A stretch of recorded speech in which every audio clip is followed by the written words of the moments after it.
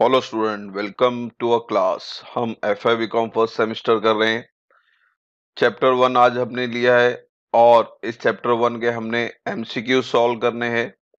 तो accounting standard one chapter का नाम है disclosure of accounting policies MCQs हम अभी ये सीरीज़ स्टार्ट कर रहे हैं। तो चैप्टर वन से लेके लास्ट चैप्टर तक के सारे एमसीक्यूज हम करेंगे।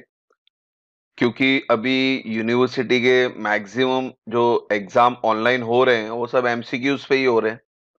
तो इसीलिए हमने ये सीरीज़ स्टार्ट की है तो सारे सीरीज़ चेक करें ताकि आपके एमसीक्यूज अच्छे से हो जाएँ और आपका एक तरह का रिवीजन हो जाए। तो चलते हैं हमारे क्वेश्चन और आंसर की तरफ़।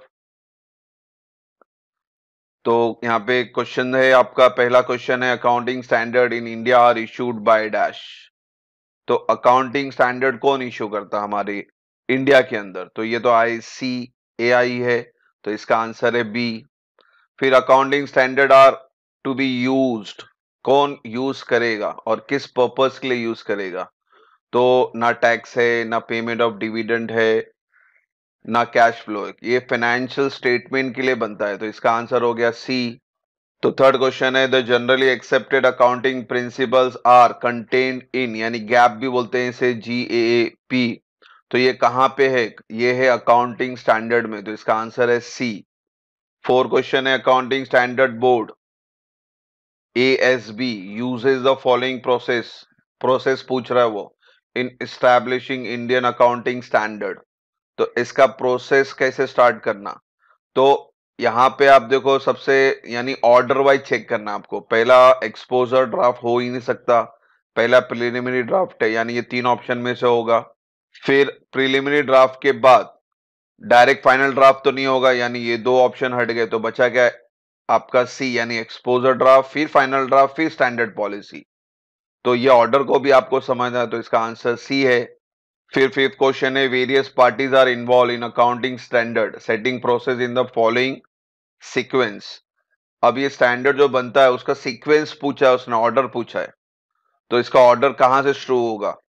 तो पहले तो मेंबर आ ही नहीं सकता काउंसिल भी नहीं आ सकते पब्लिक आ सकती है, मगर पब्लिक से पहले क्या लगता है आपको? स्टडी ग्रुप यानी इसका आंसर जो है बच्चों डी है स्टडी ग्रुप, फिर F I C C I फिर मेंबर ऑफ़ आई फिर पब्लिक फिर काउंसिल फिर आई तो ऑर्डर ऑब्जेक्टिव करते वक्त आपको एक ट्रिक यूज़ करना है। पहला वर्ड क्या है? वो इंपॉर्टेंट चीज़ समझे। देखिए, जैसे यहाँ पे वेरियस पार्टीज़ बोला था कौन कौन इन्वॉल्व है एएसबी के अंदर अकाउंटिंग स्टैंडर्ड के अंदर। उसका सीक्वेंस पूछा था। तो पहला सीक्वेंस कहाँ से शुरू होगा? आपका स्टडी ग्रुप से ही शुरू होगा। उसके बाद फिर आगे के रूल फॉलो होंगे। फिर सिक्स क्वेश्चन है it is essential to standardize the accounting principle and policy in order to ensure तो जो अकाउंटिंग स्टैंडर्ड बनाए जाते हैं रूल बनाए जाते हैं तो वो क्यों बनाए जाते हैं, क्या चाहिए उसके अंदर? तो यहाँ पे इनका ऑप्शन है transparency consistency comparability and all of the above तो जो रूल बनाया गया ऑब्वियसली ट्रांसपेरेंसी के लिए, यानी सब कुछ साफ़ साफ़ हो, कुछ फेक एंट्री ना हो कंसिस्टेंसी हो यानी रेगुलरली रिकॉर्ड होना चाहिए कंपेरेबिलिटी हो, आप कंपेयर कर सकते हो। यानी ये तीनों ऑप्शन सही है। तो यहाँ पे लिखना पड़ेगा ऑल ऑफ़ द अबाव यानी डी ऑप्शन है आपका। फिर कंप्लाइंस विद अकाउंटिंग स्टैंडर्ड तो अकाउंटिंग स्टैंडर्ड के साथ क्या क्या कंप्लाइंस करता है? हार्मोनाइज अकाउंटिंग पॉलिसी ये भी सही लग रहा है। Make financial statement more comparable ये भी सही है। Make financial statement more reliable ये भी सही है। यानी ऑल ऑफ़ द अबाव आपका आंसर रहा। ठीक है बच्चों? तो अब चलते हैं एट क्वेश्चन की तरफ़। एट क्वेश्चन है if accounting standard differed from any law तो accounting standard differ from any law तो accounting must be prepare as per the accounting standard account must be prepare as per the law management has the option to follow either the law और accounting standard two account must be prepare one as per the law and another as per the accounting standard तो इसका answer B है। क्योंकि ये law के हिसाब से question क्या बोला if accounting standard differ from any law तो उस लॉ के हिसाब से ही बनेगा। फिर है nine question which of the following are limitation of accounting standard तो अकाउंटिंग स्टैंडर्ड के लिमिटेशन क्या है? The choice between different accounting treatment is difficult ये भी सही है। अकाउंटिंग स्टैंडर्ड में भी अप्लाइड मैकेनिकली ये भी सही है। अकाउंटिंग स्टैंडर्ड के not override the law ये भी सही है। यानी ये सब डिफिकल्टी आती है तो यानी आंसर रहेगा all of the above D फिर दसवा क्वेश्चन है the last accounting standard issued by ISAI up to 2014 is accounting standard 32 तो आपको टोटल 32 अकाउंटिंग स्टैंडर्ड है बच्चों। हमारे एफ़ आई में हमें सिर्फ़ तीन ही पढ़ाया जा रहा है तो आपको तीन पे ही ध्यान देना है। फ़िलहाल उन्होंने total accounting standard in last accounting standard पूछा तो आंसर है डी यानी थर्टी टू इलेवेंथ है which one of the following combination of accounting assumption are fundamental according to accounting standard one तो फंडामेंटल बेसिक चीज़ क्या अकाउंट के अंदर? एक तो गोइंग कंसर्न है तो कॉमन ही है। तो गोइंग कंसर्न ए में भी है और डी में भी है। फिर कंसिस्टेंसी ये भी ठीक है। हिस्टोरिक कॉस्ट नहीं आता अकाउंटिंग स्टैंडर्ड में। यानी एक्रुअल बेसिस है तो आंसर हो गया आपका डी अब चलते हैं twelfth question accounting standard one is recommendatory mandatory option और नो लॉन्गर वैलिड यानी ये मैंडेटरी होता है बच्चों। तो आंसर हो गया B accounting policies thirteen question है। Are some of all concern are laid down by law, change from concern to concern are prescribed by accounting standard one तो अकाउंटिंग पॉलिसीज़ के अंदर change from concern to concern होना चाहिए। तो इसका answer है सी अब चलते हैं 14 की तरफ़। Purpose of accounting standard one is to establish standard as to the option है the desirable accounting policy the fundamental accounting assumption disclosure of accounting policy preparation of final account तो अकाउंटिंग स्टैंडर्ड वन क्यों establish किया गया था? क्योंकि disclosure of accounting policies के लिए। तो इसका ऑप्शन है सी अब चलते हैं फिफ्टीन क्वेश्चन की तरफ़। Vide accounting standard one fundamental accounting assumption should be option है always be disclose be disclose if not followed be disclose in note to account be disclose in auditor report तो इसका option है B disclose if not followed यानी option B sixteen है following is an example of accounting policies तो accrual भी नहीं है consistence भी नहीं है गोइंग कंसर्न भी नहीं है और डिप्रीशियन डिप्रीशियन आपका पॉलिसीज़ के अंदर आता है तो ऑप्शन है आपका डी सेवनटीन है following is an example of accounting policies entity consistency going concern valuation of stock तो valuation of stock accounting policies के अंदर आता है तो ऑप्शन है आपका D 18 a following an example of accounting policies. Entity conversion of foreign currency, going conservatism. तो entity भी नहीं गोइंग कंसम्पनी कन्वर्सिटिज्म भी नहीं, ये है foreign currency conversion of foreign currency यानी आंसर आंसर हो गया आपका B 19 a following example of accounting accounting policies तो यहाँ पे देखो बच्चों ऑप्शन ऑफ़ पॉलिसीज़ के ऊपर आ रहे हैं तो उसके अंदर आपको अकाउंट के नाम जैसे डिप्रीशन है वैल्यूएशन स्टॉक है फॉरेन करेंसी है तो ये आपके अकाउंटिंग पॉलिसीज़ है इनके ऊपर बनाए गए ये गोइंग कंसर्न एक्रुअल कंसिस्टेंसी ये सब क्या स्टैंडर्ड है पॉलिसीज़ नहीं है। तो अब यहाँ पे 19 में भी आप देखेंगे तो कंसिस्टेंसी कॉस्ट है कंजर्वेटिज्म है, मगर आंसर आपको देखो अलग क्या है ट्रीटमेंट ऑफ़ गुडविल यानी आंसर हो गया आपका बी ट्वेंटी है following in example of accounting policies वापिस से देखो realisation dual aspects materiality valuation of investment तो यहाँ पे भी आप देखिए वैल्यूएशन ऑफ़ इन्वेस्टमेंट लग रहा है तो आंसर हो गया आपका डी फिर 21 है following example of accounting policy वापस देखो रियलाइजेशन है डिस्क्लोजर है मैचिंग है वैल्यूएशन ऑफ़ फिक्स एसेट देखो फिक्स एसेट आंसर लग रहा है, यानी D following is example of accounting policy यहाँ पे भी देखो बच्चों, क्या लिख रहा है अभी यहाँ पे आपका आंसर गोइंग कंसर्न ने एक्रोल ने डिस्क्लोज यानी अलग क्या लग रहा है? ट्रीटमेंट ऑफ़ रिटायरमेंट बेनिफिट यानी आंसर हो गया सी तो चलते हैं question number twenty three for example of accounting policies बोला है रियलाइजेशन नहीं ऑब्जेक्टिविटी नहीं अकाउंटिंग पीरियड नहीं recognition of profit on long long term contract तो आंसर आपका डी हो गया. ट्वेंटी फोर है following is an example of accounting policies वापिस से यहाँ पे क्या लग रहा है आपको? ट्रीटमेंट ऑफ़ रिटायरमेंट बेनिफिट ही लग रहा है तो आंसर सी हो गया। 25 क्वेश्चन है concern should select an accounting policy which enable it to तो कोई भी कंसर्न कंपनी ऑर्गेनाइजेशन को पॉलिसीज़ कैसे सेलेक्ट करना चाहिए? तो क्या वो प्रॉफिट बताए हुए, क्या वो ट्रू एंड फेयर व्यू बताए आपके प्रॉफिट और लॉस का? क्या वो करेक्ट कैलकुलेशन ऑफ़ कैश बताए या वो इनकम टैक्स के लिए बताए? तो पॉलिसीज़ तो पब्लिक के लिए बनाई जाती है, यानी वो पब्लिक के सामने उसका कैरेक्टर क्या शो करे? तो वो तो वो ट्रू एंड फेयर व्यू बताएगा अपना स्टेटमेंट ऑफ़ प्रॉफिट का। तो आंसर इसका बी 26 है the following factor should be consider while selecting the applying accounting policies तो जब अकाउंटिंग पॉलिसी सेलेक्ट किया जाए तो कौन से फैक्टर को आप कंसीडर करना चाहिए? कंसिस्टेंसी ड्यूअल एक्सप्रेस प्रूडेंस और कॉस्ट प्रूडेंस यानी ट्रू तो प्रूडेंस के हिसाब से आपको कलेक्शन करना सिलेक्शन करना चाहिए।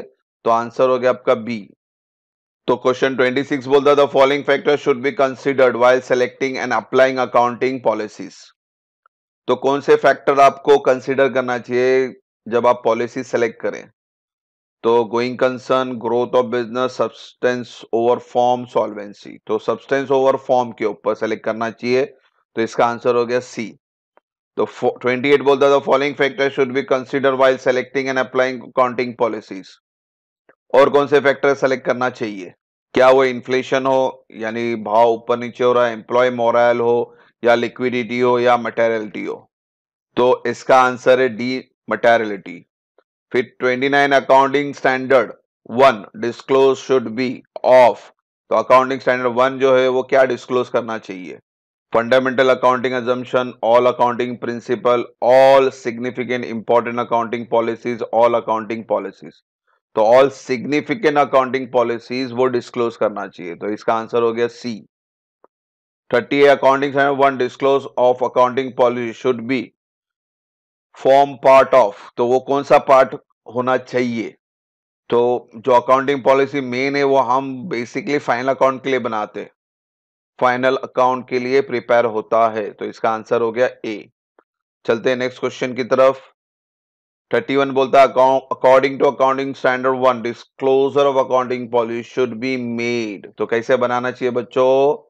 क्या वो रिलेवेंट प्लेस होना चाहिए? वन प्लेस पे होना चाहिए प्रॉफिट और लॉस अकाउंट पे होना चाहिए बैलेंस शीट पे।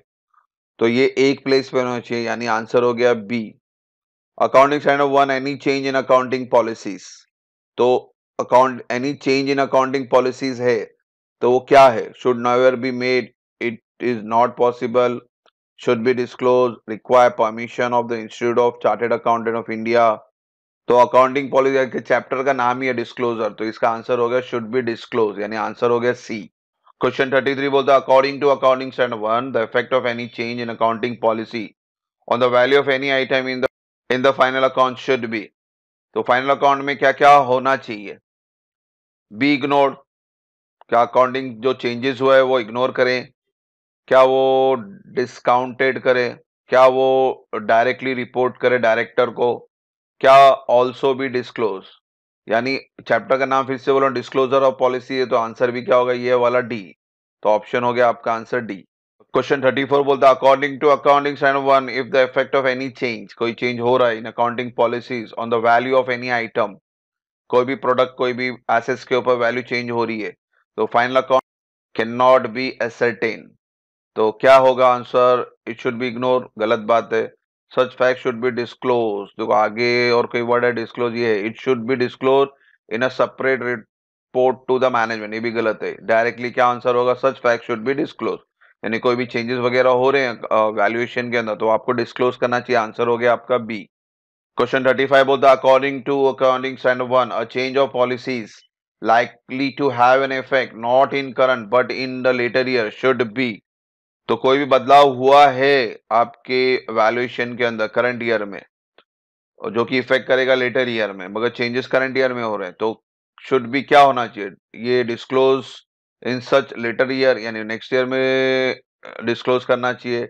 Disclose in the auditor report या इग्नोर ही कर दें, या डिस या disclose in the year in with the changes made तो जो भाई साल में चेंज हुआ है, उसी साल में शो करो तो आंसर हो गया आपका D क्वेश्चन थर्टी सिक्स बोलता है concern as return of capital expenditure as a revenue expense by disclosing in the notes to account that it is accounting policies of the concern to do so तो accounting standard one क्या बोलता है आपको disclosure can be remedy in improper entry disclosure cannot be remedy a wrong entry any accounting policy is valid if a special resolution of shareholder pass the accounting treatment is correct तो chapter तो disclosure ही चल रहा है accounting standard one का। तो ये option A और बी होगा। पहला ऑप्शन बोलता है disclosure can remedy an improper entry ये भी गलत बात है। अब इम्प्रॉपर एंट्री को हम चेंज नहीं कर सकते। तो ऑप्शन होगा आपका disclosure can not be remedy a wrong entry यानी अकाउंटिंग पॉलिसी जो वन है डिस्क्लोजर का, उसमें आप गलत एंट्री रिकॉर्ड नहीं कर सकते। के नॉट तो इसका आंसर हो गया बी अब चलते हैं क्वेश्चन नंबर थर्टी सेवन की तरफ़। One of the fundamental accounting assumption is basic जो अकाउंटिंग अजम्पन है प्रिंसिपल की बात नहीं कर अजम्पन की बात कर रहे हैं तो क्या वो मेटेरिलिटी है बिज़नेस एंटिटी है गोइंग कंसर्न है ड्यूअल एक्सपेक्ट तो वो है बच्चों गोइंग कंसर्न तो आंसर हो गया सी फिर accounting standard one required disclosure if the following assumption is not made तो मैचिंग है गोइंग कंसर्न है कॉस्ट है रियलाइजेशन ऑब्वियसली गोइंग कंसर्न है तो आंसर हो गया बी क्वेश्चन थर्टी नाइन है accounting policies refer to specific accounting तो अकाउंटिंग पॉलिसीज़ के अंदर क्या क्या होता है? प्रिंसिपल्स होते हैं, यानी रूल्स होते हैं। Method of applying those principle होता है, उस अकाउंटिंग स्टैंडर्ड के पॉलिसीज़ के अंदर जो बनाया गया है, उसको अप्लाई कैसे जाए, वो भी होता है। या ऑप्शन सी बोला है बोथ ए एंड बी या ऑप्शन डी बोला none of the none of the है ही नहीं। प्रिंसिपल भी अप्लाई होते हैं, रूल लगते हैं और उस रूल को अप्लाई भी किया जाता है। यानी आपका आंसर होगा सी ए एन बी तो थर्टी नाइन का आंसर हो गया C forty the areas where different accounting policies cannot be adopted तो ऐसा कौन सा एरिया जहाँ पे डिफरेंट अकाउंटिंग पॉलिसीज़ अडॉप्ट किए नहीं जा सकते हैं? प्रोवाइडिंग डेप्रीशन यहाँ पे भी एक ही रूल लगेगा। वैल्यूशन ऑफ़ इन्वेंट्री यहाँ पे भी एक ही रूल लगेगा। वैल्यूशन ऑफ़ इन्वेस्टमेंट यहाँ पे भी एक ही रूल लगेगा। यानी आंसर हो गया आपका D all of the above तो इन सब जगह पे आप डिफरेंट पॉलिसी यूज़ नहीं कर सकते। तो आंसर हो गया D all of the above 41 बोलता है change in accounting policy justified तो कैसे जस्टिफाई करेंगे? To comply with accounting standard ये भी सही है। To ensure more appropriate presentation of financial statement of the enterprises ये भी सही है। To comply with the law ये भी सही है। यानी ऑप्शन हो गया आपका D all of the above तो सबके सब ये चेंजेस जो है वो अप्लाई होने ही चाहिए। कंप्लाई विद स्टैंडर्ड होना चाहिए प्रेजेंटेशन भी अप्रोप्रिएट होना चाहिए कंप्लाई विद द लॉ भी होना चाहिए, ठीक है? क्वेश्चन 42 देखते हैं। Accounting standard one required that significant accounting policies तो कौन सा इंपॉर्टेंट पॉलिसी चाहिए हमारे अकाउंटिंग स्टैंडर्ड वन के लिए? Should be disclosed at one place, need not be disclosed at one place, may be disclosed at discretion of management should not be disclosed in public account. तो इसका option है should be disclose at one place एक ही जगह पे आप disclose कर दो तो इसका ऑप्शन हो गया ए अब चलते हैं क्वेश्चन नंबर 43 की तरफ़. A fundamental assumption going concern consistence and accrual are not followed the fact should be disclose तो इन सब का जो डिस्क्लोजर नहीं हो रहा है तो कहाँ डिस्क्लोज होगा ऑब्वियसली तो आपका चैप्टर का नाम क्या है? डिस्क्लोजर अकाउंटिंग स्टैंडर्ड वन यानी ऑप्शन हो गया ए क्वेश्चन 44 बोलता है the cost of inventory should be comprise all cost of purchase cost of conversion and other cost incurred in bringing the inventories to the present location and condition. Inventories word आ गया बच्चों। ये है accounting standard number two तो directly समझ जाओ, ये accounting standard number two है तो आपका आंसर क्या हो गया बी ठीक है? डिस्क्लोजर का अकाउंटिंग स्टैंडर्ड वन है इन्वेंट्री का अकाउंटिंग स्टैंडर्ड नंबर टू है।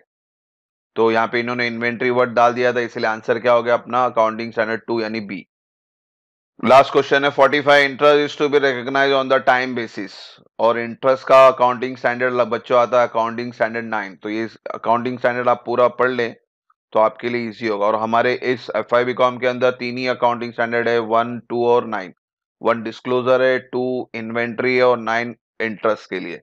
तो आपका आंसर हो गया सी अकाउंटिंग स्टैंडर्ड नाइन तो इस तरह से हमने चैप्टर वन मुकम्मल किया।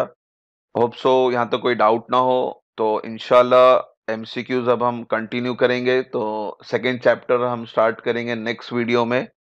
होप सो यहाँ तक कोई डाउट ना हो। Thank you thank you for watching the video God bless you